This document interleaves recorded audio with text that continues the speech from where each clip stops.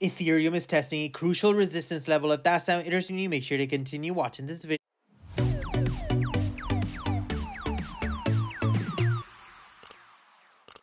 We are now sitting over 700 Telegram members. It's been a crazy ride. If you guys are still interested in keeping up with my charts as well as my trades, make sure to join the link. Hey guys, Pingu Charts here. Welcome back to another Ethereum analysis video. As always, if you do enjoy my content, make sure to hit that like and subscribe button. If you guys are interested in $35,000 trading bonus, make sure to check out the link in the bio. As you guys can see on Ethereum yesterday, we saw a very nice wick opportunity retesting our lows of 1800, but the buyers came into the market and as of right now, we are once again again in between our exponential moving averages.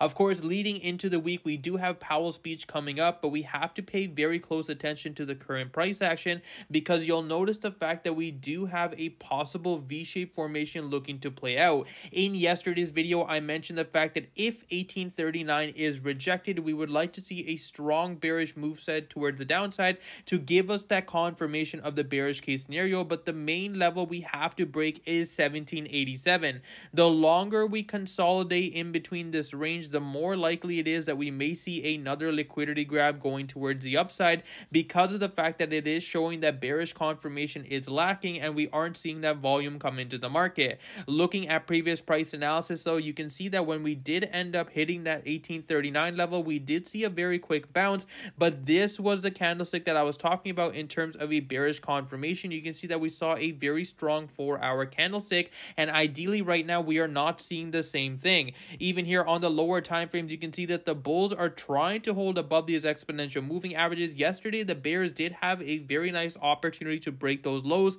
but immediately after we saw the bulls come back into the market, and now we are holding above these exponential moving averages. The overall perspective on the hourly time frame, of course, is this massive bar formation looking to play out. But of course, if we do end up breaking above 1839 and using that level as support, then that's going to invalidate validate our bearish case. The reason why is, of course, then we would assume the fact that this V-shaped formation is going to play out, and we could be looking for a possible retest on 1884. If, of course, we do end up breaking 1787, looking at previous price analysis, I have mentioned this to you guys multiple times in Telegram.